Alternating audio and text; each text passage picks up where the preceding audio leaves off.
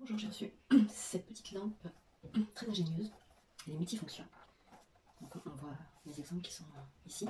C'est vraiment pratique.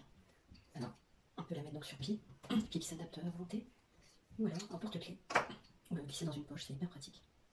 Ici, on voit les tournevis que l'on adapte ici sur le côté, tout simplement. C'est vraiment pratique. Ici, ce petit, cette petite pointe qui est au bout sert à casser une vitre en cas d'urgence.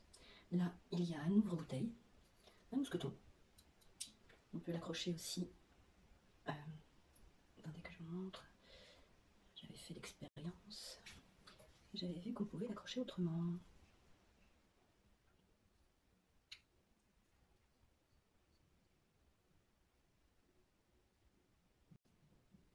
Ah oui, dans le cas où on, l'a fixé ici, voilà, c'est ça.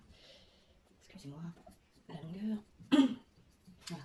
Si on veut garder les pieds et que malgré tout, on veut l'accrocher, voilà, c'est faisable.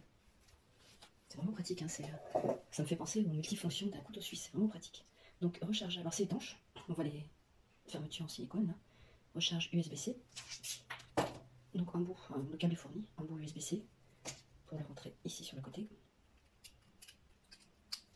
et USB-A de l'autre côté. Euh, c'est vraiment pratique. La lumière, la lumière est hyper puissante. Je vais mettre un peu de côté. On appuie ici, sur l'autre côté,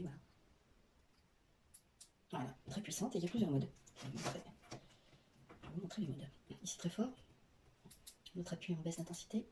Là, on a une lumière encore différente. On passe un peu plus doux. On est en rouge. Voilà. Quelle détresse, c'est plutôt pratique. Ok, là, on éteint. Non, c'est vraiment, je suis vraiment très impressionnée.